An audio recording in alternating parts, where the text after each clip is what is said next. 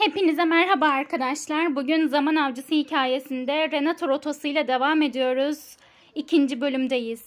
Yeni arkadaş edinme zamanı. Bölüm açılırken videoyu beğenmeyi ve kanalıma abone olmayı unutmayın lütfen. Bölüm 2. Sığınak. Yardıma ihtiyacınız var mı? Nova, asfalta düşme tehlikesi olmasa öylece bakmaya devam ederdi. Yok canım ne alaka? Ben burada takılıyorum işte. Var. Evet lütfen. Var gibi görünüyor. Var gibi görünüyor. Daha cümleyi bitirmeden göğsü sıkıştı. Kadın sonunda bir ağaç gibi dikilmeyi bıraktı ve çömelerek kızın tekrar çatıya çıkmasına yardım etti. Yeniden ayağının altında yeri hisseden cadı, güneşin ısıttığı betonun üzerine serildi ve gözlerini yumarak nefesini ve düşüncelerini düzene sokmaya çalıştı. Hiç bu kadar yakın olmamıştı. Düşünme bunu, düşünme, sorun yok. Hey, teşekkür nerede? Gözlerini açıp üzerinde beliren yüzü gören Nova çığlık attı ve ayağa fırladı. Bir sabah için bu kadarı da fazla. Kişisel alan diye bir kavram var bilir misin? Eee teşekkür ederim. Gergin bir şekilde sessiz kal. Teşekkür ederim. Rica ederim. Elini uzattı. Onyx. Nova kendi adını söylemek üzereydi ama... Adımı zaten biliyorsun değil mi? Evet, seni takip etmek için gönderdiklerini de söylemişlerdi. İşte bundan hala memnun değilim. Omuz silkti. Üzgünüm dostum, görev görevdir. Ayrıca ben olmasaydım şu an neredeydin? Ben de bundan bahsediyorum. Bir ses duyup döndüler. Magisterium'un baygın çalışanlarından biri hafifçe inledi. Muhtemelen yakında kendine gelirler. Buna hiç şahit olmak istemiyorum. Sırada ne var? Evime mi dönmeliyim? Beni bir yere mi götüreceksin? Yoksa saklanıp tekrar beklemeli miyim? Bu sefer yalnız olmayacaksın. Peşimden gel. Göz kırparak ortadan kayboldu ve onun yerine tanıdık bir kara kedi belirdi. Cadının hazır olmasını beklemeden yan evin çatısına koştu ve kolayca üzerine atladı. Ardından oturup onu takip etmesi için cadıya bakmaya başladı. Nova çatının kenarında asılı kaldıktan sonra kendini çatıdan çatlamaya, çatıdan çatıya atlamaya kesinlikle hazır hissetmiyordu. Ama başka seçeneği yok gibi görünüyordu. Pekala, tamam. Birkaç derin nefes alıp verdikten sonra koştu ve diğer tarafa başarılı bir şekilde indi.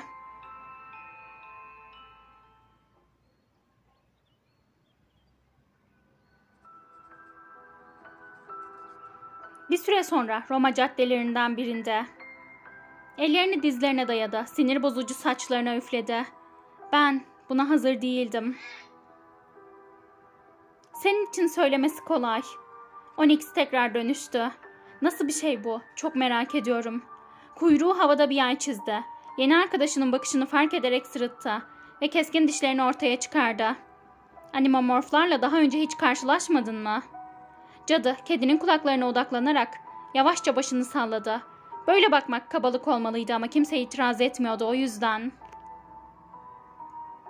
Onyx her şeyden kesinlikle memnundu. Sağlam duruşundan, yavaş hareketlerinden, gözlerindeki parıltıdan belliydi. Dikkat çekiyor, ilgi istiyordu. Güneş ışığında bir kedi. Onu çok çekici buluyorum. Merak etmeye başladım. Hiç görmemişim bir animomorf. Vay be. Onu çok çekici buluyorum. Kendini bunu düşünürken yakalayınca hemen toparlandı. Yok ya, adrenalin etkisi bu. Halbuki Onyx, bu adrenalin dolu düşünceleri duymaktan memnun olurdu. Şu an başka bir şey düşünmem lazım. Artık nispeten güvende olduklarına göre soru sormaya başlamanın zamanı gelmişti. Demek Şen'i tanıyorsun.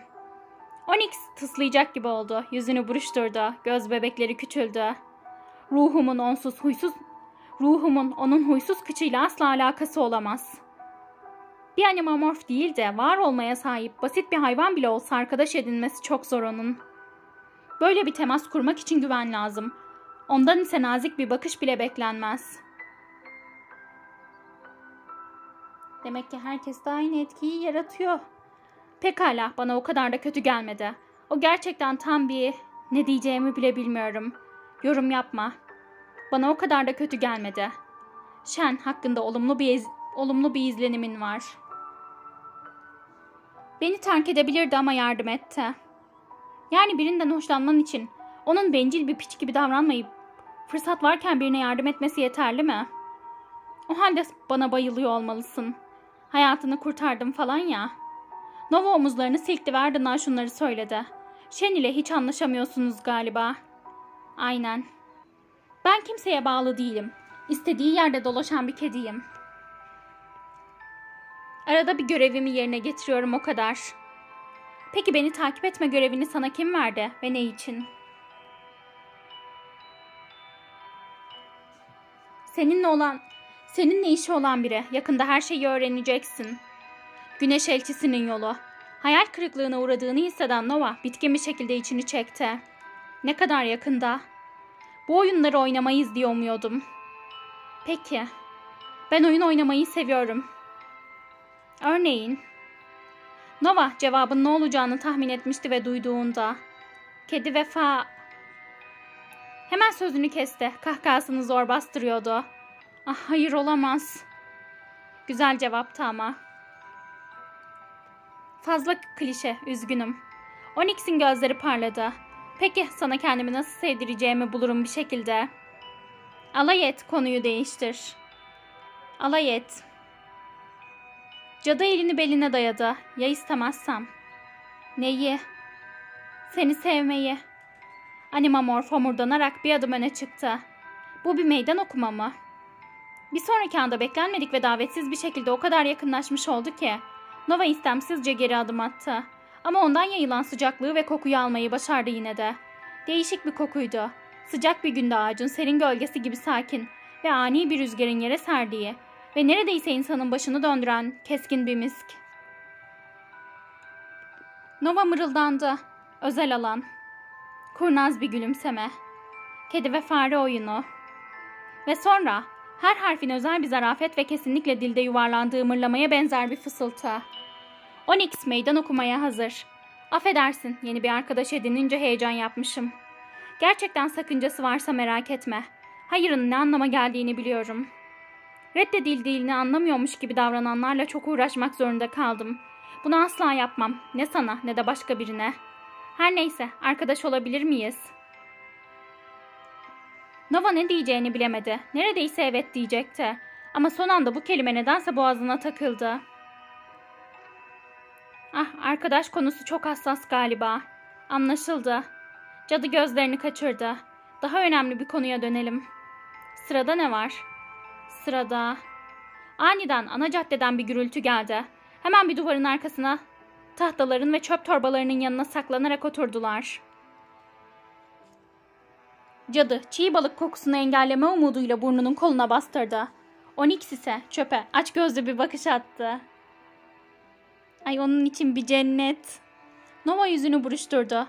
Animamor animamorfların yemek tercihlerini düşünmenin sonraya bırakılabileceğine karar verdi. Caddede iki kişi belirdi. Bir erkek ve bir kadın. Kadın adamı öyle bir itti ki. Adam sırtını duvara çarptı.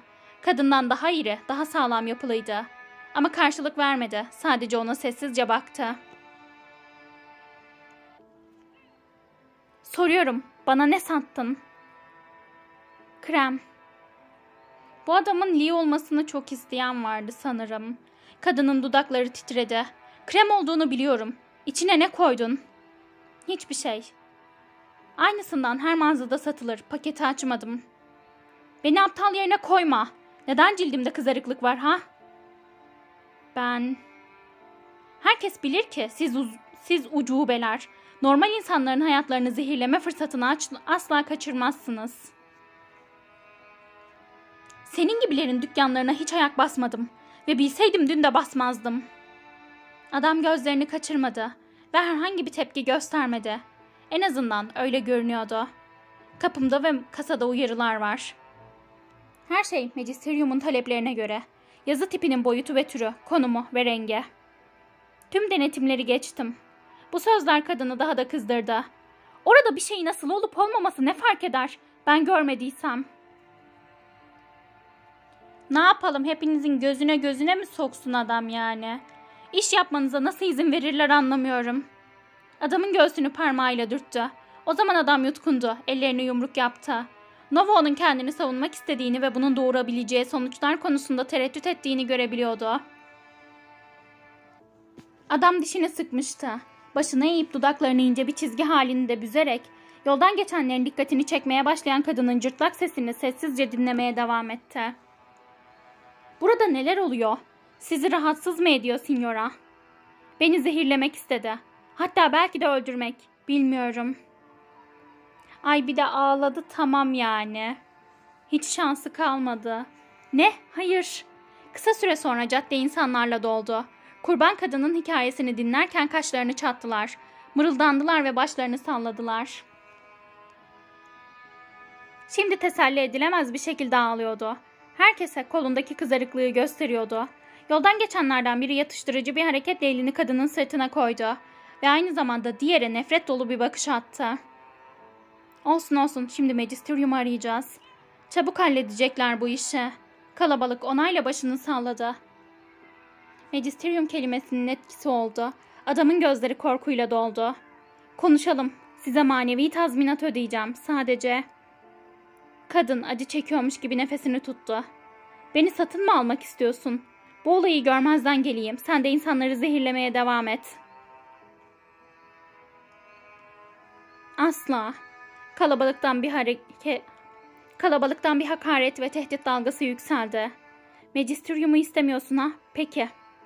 Seninle işimizi başka türlü hallederiz. Ay dövecekler mi? Diğere doğru bir adım attı. Nova biliyordu. Nasıl bir güce sahip olursa olsun diğer. Kodeksin ana maddelerin hiçbir Kodeksin ana maddelerin birini hiçbir durumda ihlal etmezdi.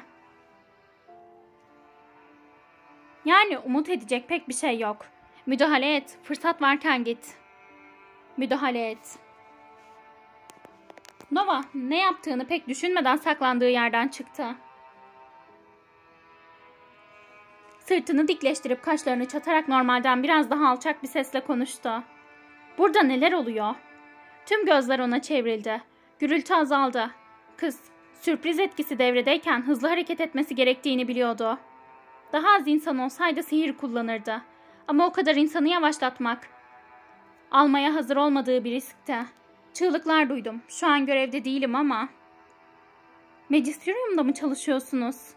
Cadı başını salladı ve ardından diğere işaret yaptı.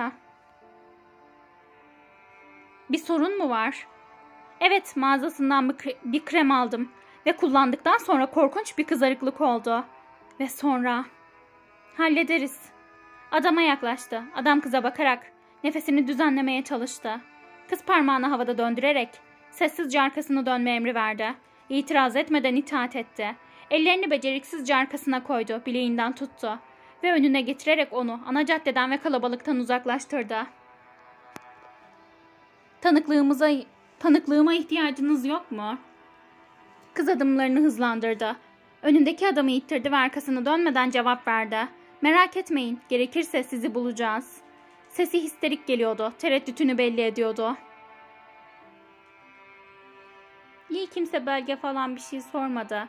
Her ikisi de Onyx'in onları beklediği köşede kaybolduğunda insanlar Magisterium çalışanının kimliğini bile göstermediğini idrak etmeye başladı. Buraya.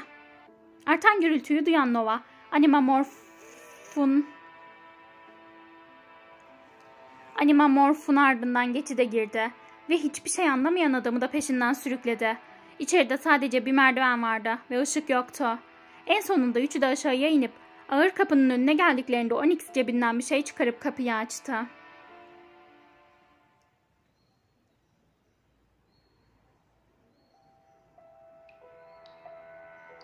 Serin bir koridora girdiler. Nem kokuyordu ve yere düşen su damlalarının yankısı duyuluyordu. Katakompların içinden daha yeni çıktım ve yine aynı yerdeyim. Adam kurtarıcılarına baktı. Cadının görünüşü onun diğer olduğunu ele vermediyse Onyx'e bakınca her şey hemen anlaşılıyordu. Teşekkür mü etmeliyim yoksa korkmalı mıyım? İkisi de. Adın ne? Marco. Birbirlerine kendilerini tanıttılar. Marco kara büyücüymüş, inisiye olmamıştı. Kreme dokunmadım. Güneş elçisinin yolu. Sana inanıyorum. Belki de alerji testi yaptırmasını önermeliydin. Orada gerçekten birinin beni dinlemek istediğini mi düşündün? Nova soruyu cevap soruya cevap vermeyip gözlerini kaçırdı. Marco umutsuzluğu üzerinden atmaya çalışır gibi içini çekerek omuzlarını dikleştirdi. Büyülü hiçbir şey satmıyorum. Satmıyordum daha doğrusu. Bundan sonra muhtemelen dükkanımı kapatmak zorunda kalacağım. Dudakları soluk bir gülümsemeyle kıvrıldı. Bu ilk kez olmuyor. Genellikle bu boş suçlamaları rüşvetle hallederdim. Ancak bu bayanla müzakerelerin başarılı olması pek olası değildi. Neyse neye bulaştığımı biliyordum. Bu kabullenmede gerçekten kasvetli bir şey vardı. Adam haksızlığa uğramıştı ve haklı olarak kızamıyordu bile.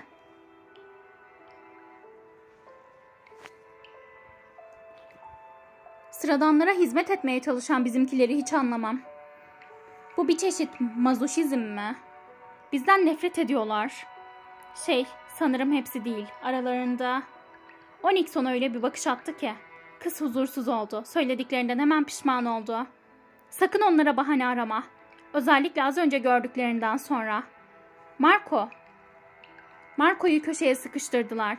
Ve sen müdahale etmeseydin kim bilir neler olacaktı. Haklı olduklarını söylemek istemiyorum ama çok korkmuşlardı ve... Peki onları ne korkuttu? Sebebi o kadının kolundaki kızarıklık değildi. Kremi basit bir dükkandan satın alsa ve bir sorun yaşasa, sence yine davrandığı gibi davranır mıydı? O adamı iter miydi? Parmağıyla gösterir miydi? Aşağılar mıydı? Sinirlenmeye başladığını fark ederek yavaşça içini çekti. Bizden korkmaları gerektiğini düşünüyorlar.'' Biz ise sadece yaşamak istiyoruz. Ama var olma hakkı için savaşmamız gerektiği ortaya çıktı. Bu doğru değil. Nova hafifçe dilini ısırdı. Evet seninle tartışmıyorum. Ben sadece insanlığa olan inancımı korumak istiyorum. İyimser olmaya çalışıyorum. Hayatım sen de fazla mı iyimsersin? İyimser olmakla İyimser olmakla önemli şeylere göz yummak arasında büyük bir fark var.'' Mark ortamı yumuşatmak için tuhaf bir kahkaha attı. Yani dükkanı açtığımda zor olacağını biliyordum. Bunu anlamamak aptallık olurdu. Ama hepimizin eşit olduğuna inanıyorum. Ben de bu inanca uygun yaşamayı tercih ediyorum. Umarım sıradan olanların da bunu anlayacağı gün gelir. Kısa süre sonra büyücü konuştu. Neyse. Cadıya baktı ve ona elini uzattı. Kız elini sıktı. Beni kurtardığın için teşekkür ederim Nova.'' Eğer bir şekilde yolumuz kesişirse aynı şekilde karşılık vermekten memnuniyet duyarım. Bu cümleden de anlayacağımız üzere yolumuz kesişecek. Marco gelecekte sana yardım edecek. Onyx'in elini sıkarak kapıyı açmasını bekledi. Marco yolunu aydınlatmak için avucunda küçük bir ateş yaktı ve gitti. Hadi gidelim şu tarafa.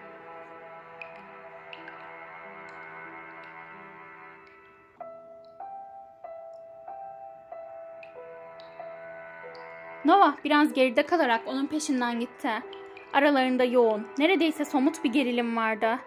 Bir dahaki sefere kendimi diğerlerinden ayırmak istemiyorsam ne dediğimi dikkatlice düşünmem gerekecek.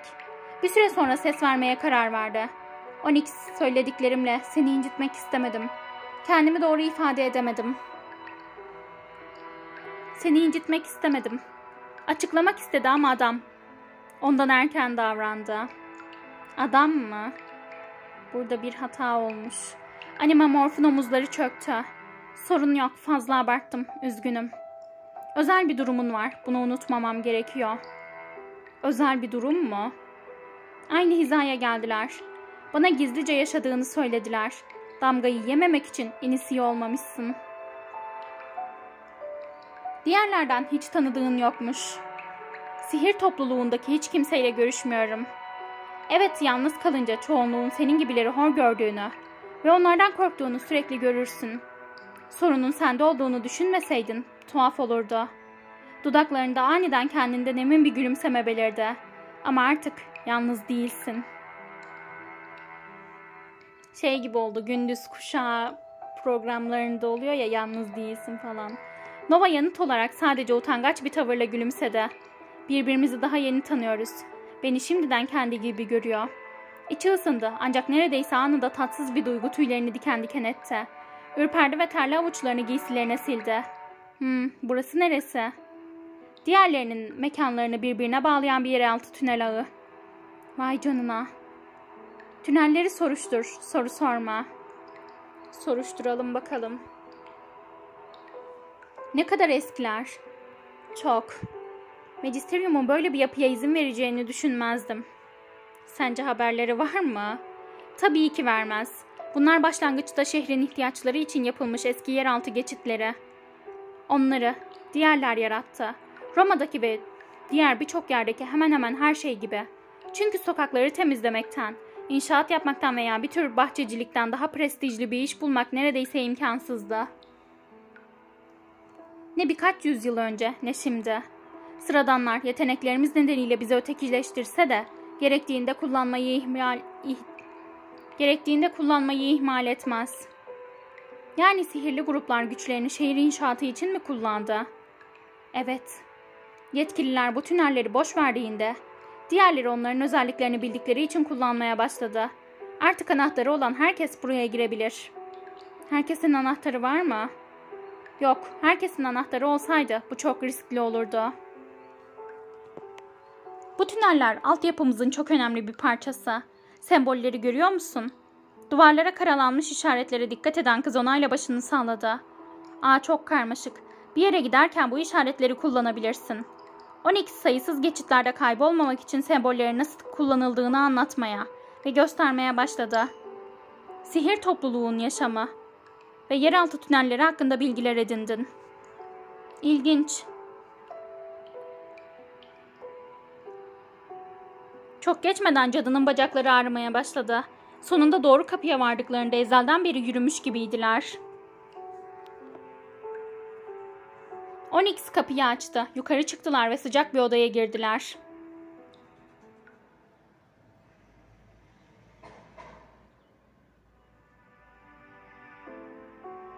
Nova etrafına bakındı. O da aynı zamanda yemek odası, oturma odası ve resepsiyon gibiydi. Havada yemek kokusu vardı, biber ve ceviz aroması. Birkaç kişi sandalyelerde oturuyor, haberleri konuşuyordu. Sesleri ve kahkahaları, tabakların çınlamasıyla televizyondaki müziğe karışıyordu.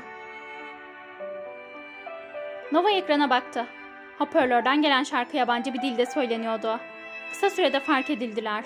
Odaya giren kadın Onyx'i görünce genişçe gülümsedi. Nix'i. Sıkıca sarıldılar. Uzun zamandır yoktun. Bakışlarını cadıya çevirdi. Aa bu güzellik de kim? Sonunda sakinleşmeye mi karar verdin? Ama ben... Onyx güldü, başını salladı. Bana uyar. Bu Nova. Seninle kaçan mı? Avcı kız. Maşallah herkesin de bizden haberi var. Ta kendisi. Herkes biliyor mu? Şey, herkes değil, birçoğumuz. Benim adım Didi. Sığınağıma hoş geldiniz. Ortalıkta görünmemen gerekiyorsa her zaman bir iki gün burada saklanabilirsin. Nova kızın bileğindeki damgayı fark etti ve boynundaki haçı. Didi kızın kafasının karıştığını fark etti ama sadece gülümsedi. İçeri geçin. 15 dakika sonra yemek hazır olacak. Yemek sırasında konuşuruz. Onyx hemen masaya koştu. Dürüst olmak gerekirse kendisi dünyanın en iyi aşçısı. Mütevazi olamam. Öyleyim. Beklerken lenslerimi çıkarabilir miyim? Gözlerim acıyor. Ah tabii ki. Gel boş bir odam var. Orada üzerini de değiştirebilirsin. Yanımda hiç kıyafet yok. Merak etme kıyafetle dolu bir dolabım var. Bedenini sihirle ayarlarız. Konuğu merdivenlerden yukarı çıkardı.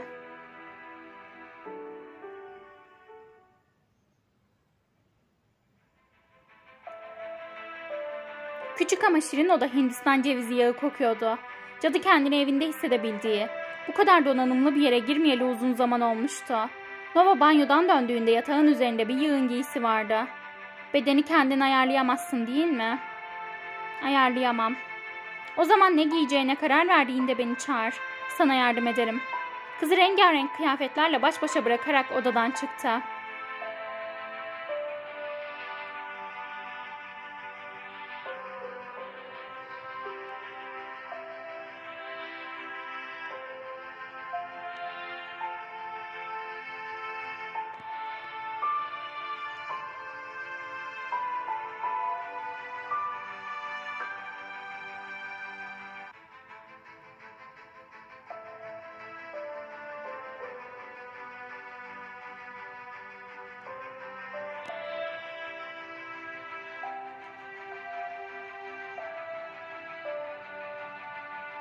Harika. Ah bekle.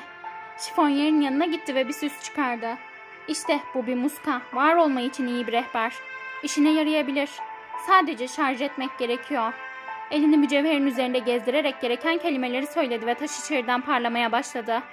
Ben kullanmıyorum yani istersen senindir. Aa güzel ha.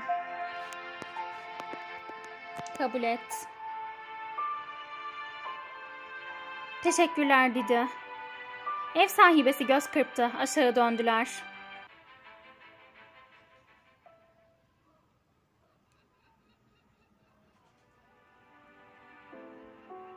Odada Onyx dışında kimse yoktu. Didi masayı kurdu ve Nova payına düşen yemeğe saldırmamak için kendini zor tuttu. Tüm bu, tüm bu endişelerle bütün gün hiçbir şey yemediğini unutmuştu.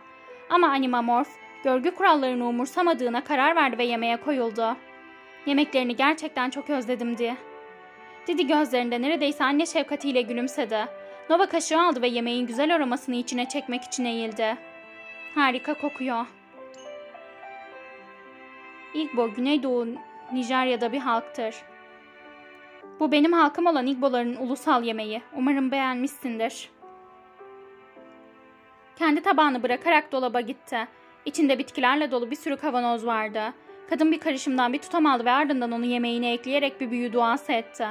Çorba köpürdü ve mavimsi bir renk aldı. Bu gece için özel bir planın var mı? Evet, vergilerle uğraşmaktan daha zevkli bir şey olmasını çok isterdim. Ama yine fazla ertelemişim. Nova'nın şok içinde mavi çorbaya baktığını fark eden Didi açıkladı. Tozu hiç duymadın mı? Uykuyu açar ve verimliliği yükseltir. Ancak etkisini çok sonradan gösterir. Bu yüzden şimdi alıyorum. Kullanışlıymış. Günün 24 saati uyumamak mümkün yani. Evet ama kötüye kullanmanı tavsiye etmiyorum. Bu fazladan saatlerin bedeli oluyor. Ah yan etkileri var tabi. Var olma bedavaya çalışmaz. Yarın midem ağrır ama olsun. Dayanıklılığına hayranım. Bir daha asla kullanmayacağıma yemin ettim. Tabi senin canın çok kıymetli. Bu sohbet sona erdiğinde Didi ellerini kavuşturup gözlerini kapadı ve dua etmeye başladı. Bu kadın diğerlerden biri ama dua ediyor ve haç takıyor. Çoğu mezhep onları reddetti. Buna rağmen Hristiyan olduklarını iddia eden büyücüler var diye duydum. Ama nasıl oluyor bu işler hala anlamış değilim. Doğrudan sor. İma etmeye çalış. Bu konuya uygun bir şekilde bu konuyu uygun bir şekilde nasıl açacağını düşünmeye başladı. Bir parça yiyecek yuttuktan sonra kadına bakmadan olabildiğince rahat bir şekilde konuşmaya çalıştı. Didi, sen bir cadısın. Evet. Ama aynı zamanda Hristiyanım. Kaba olmak istemem ama nasıl olur diye mi sormak istiyorsun? Kadın kaşığını bıraktı ve çenesini ellerine dayayarak konuğun gözlerinin içine baktı. Ben Tanrı'ya inanıyorum. Peki ya kilisenin öğretileri? Diğerlerin güçlerini şeytandan aldığını, dünyaya felaket getirebileceğimizi vesaire yazıyor. Pek çok yerde ve pek çok şey yazılabilir. Kim yazdı? Ne zaman yazdı? Ne için yazdı? Metin doğru çevrildi mi? Bütün bunlar içeriğin kendisi kadar önemli. Bildiğim kadarıyla İsa, var olmanın kötü bir şey olduğunu asla iddia etmedi. Bazıları onun bizden biri olduğuna bile inanıyor. Doğru olduğu ortaya çıkarsa şaşırmam. Yani cadı olmakla inanmak arasında herhangi bir çelişki görmüyorum. Ama Vatikan... Vatikan insan demek. Edindiğin hedefe bağlı olarak bir fikir binlerce farklı şekilde aktarılabilir. Benim inancım Tanrı'ya. Onun sözünü dünyaya taşıdığını iddia eden kurumlara değil. Anlaşıldı. Nova düşüncelerine dalarak yemeğine döndü. Bir süre sonra ikinci porsiyonu bitiren Onyx ona döndü. Biraz kendinden bahseder misin Nova? Kızın eli titredi ve kaşığı tabağın dibine çarptı. Söyleyecek fazla bir şey yok. Ama ikisinin dikkatli bakışları altındayken o kadar kolay kurtulamayacağını anladı. Annem de babam da sıradandı. Kehribar gözlü kızları olduğunda pek mutlu olmadılar. Var olma kendini genellikle ergenlikte gösterir. Ama benim kim olduğum hemen anlaşıldı. Hak vermeliyim. Beni diğerlerinin esirgeme kurumuna teslim etmediler. Onlarla birlikte büyüdüm. Yeterince büyüdüğümde kendi başıma yaşamaya başladım. Ama şey olmadan, dam işaret olmadan. Öyle işte. Diğerleriyle sıradan olanların arasında bir yerde yaşadım. Müzede idari memur olarak çalıştım. Kovulana kadar. Geçenlerde sihirlileri işten çıkardıklarında mı? Hmm, ah evet o zaman. Ve sen hırsız olmaya mı karar verdin? Pekala, hemen değil. Yeni bir iş bulmaya çalıştım ama hep ret aldım. İlk mülakatlar harika geçiyordu ama sonra veri tabanına bakıyorlardı ve benim bir cadı olduğumu anladıklarında. Şu anda diğerlerini işe kabul etmiyoruz. Magisterium'a başvurmayı bile düşünüyordum. Uygun pozisyonları var diye duymuştum. Onyx yüzünü buruşturdu. Iy. Biliyorum biliyorum bu düşünceden vazgeçtim. Ama sonunda param ve sabrım da tükendi. Var olmayı hırsızlık için kullanmak gibi parlak bir fikir geldi aklıma. Ama bildiğiniz gibi başarısız oldum ve kendimi Vatikan'ın hapishanesinde buldum. Nova çorbasından son yudum almadan önce gülümsedi. Berbat bir hırsızmışım. Belki de tecrübesizim sadece. Onyx'in soru sormak üzere olduğunu anlayınca hızlı hızlı konuştu. Yemek için teşekkürler. Çok lezzetliydi. Afiyet olsun. Onyx planınız nedir? Burada aslında Nova çok böyle şüpheli konuşmuş da biz farkına varamamışız diyelim arkadaşlar. Akşama kadar kalacağız. Gece olunca zamanı olur dediler. Kimin zamanı? Dedi cevap vermek istedi ama sözü kesildi. Şşt, gizemi sürdürelim. Kadın gülümseyerek başını salladı. Şeyi diyor, Wes. Hey! Hadi ama nasıl öğrenecek? Bizden değil, ona hiçbir şey anlatmamalıyız. Nova onun özür dileyen bakışlarını üzerinde hissetti. Bu benim seçimim değil, sadece. Sorun yok, yeniyim, kimse beni tanımıyor. Neler döndüğünü tam olarak bilmek isterdim ama görüşmem gereken kişiyle. Görüşmek için sabırsızlanıyorum. Hafifçe gerindi ve esnedi, eliyle ağzını kapattı. Arkasında hem Didi hem de Onyx esnedi. Beklerken biraz kestirmek istersen odana dönebilirsin. Başka boş odan var mı? Hayır ne yazık ki. O çatışmadan sonra her yerde oldu. Buraya yerleşmek zorunda kalacaksın. İlk değil, son değil. Bir şekilde idare ederim. Sofrayı topladıktan sonra dağıldılar.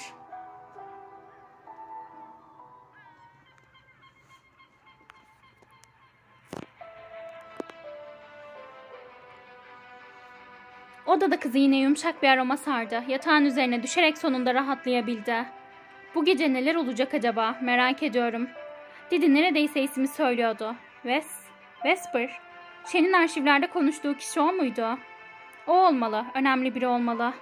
İnsanların benimle ilgilenmesinin tek bir nedeni var. Yeteneğim. Ne için kullanmak istedikleri önemli. Pekala, yakında öğreneceğim. Aklına yine sabahki olaylar geldi ve çatılardaki maceralarını hatırlayan Nova ürperdi. Kafasını dağıtmaya çalışarak odayı incelemeye başladı. Burada bir kanepe var. Hmm, Onyx aşağıda kaldı. Belki de onu buraya davet etmeliyim. Pırlanta karşılığında yapılan bir seçim Onyx ile dostluğunu veya romantik ilişkini güçlendirecek. Yoksa bu garip mi olur? Onyx'i davet et, uyumaya çalış. Davet edelim. Fikrini değiştirmemek için hızlı davranan Nova ayağa kalktı. Kapıyı açtı ve aşağı indi.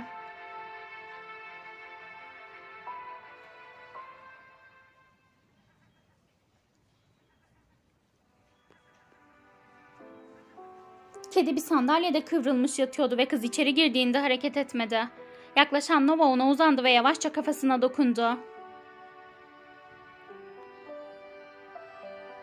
Ben odamda bir kanepem varmış. Sandalyelerden, sandalyelerden daha yumuşak olmalı. Eğer istersen benimle gel. Hemen sandalyeden atladı ve üst kata koştu. Nova kendi kendine gülümseyerek onu takip etti.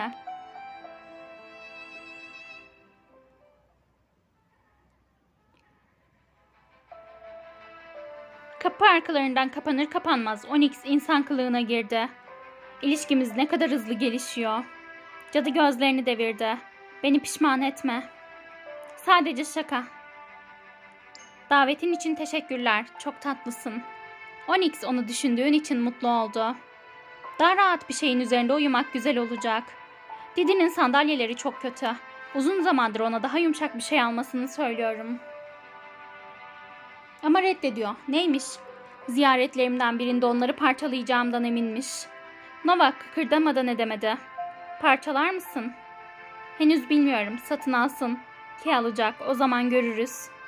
Ama büyük ihtimalle evet. Parçalarım. Siz kedilerin kanında mı var bu? Neden bu kadar huysuzsunuz? Onyx kayıtsızca om omuz silkti. Kanepeye oturdu. Huysuz değiliz. Biz sadece ilgiyi severiz.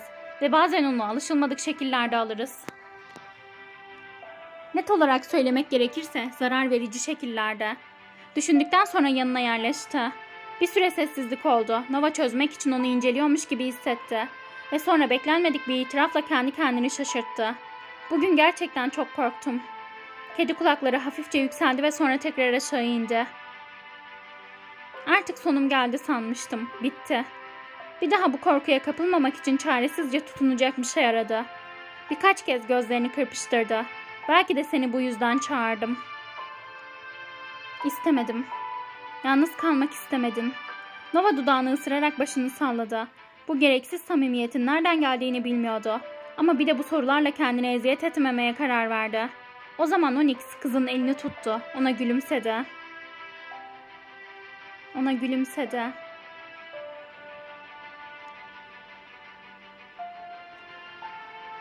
Bu tebessümü gören Nova istemsizce gülümsedi.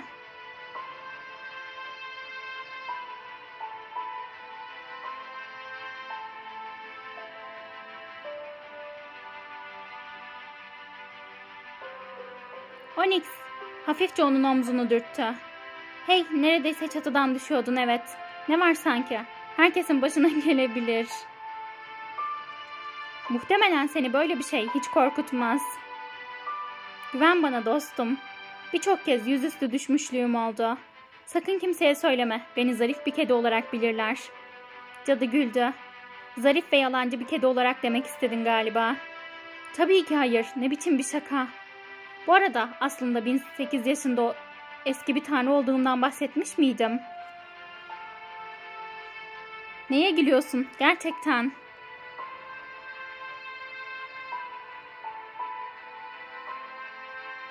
Biraz daha konuştular. Sonunda Nova derin bir nefes aldı. Kendini çok daha iyi hissediyordu artık. Onyx'i kanepede bırakarak yatağa gitti. Onyx dönüştü ve rahatça yerleşti. Teşekkür ederim sohbet için. Nova uzandı ve gözlerini kapattı.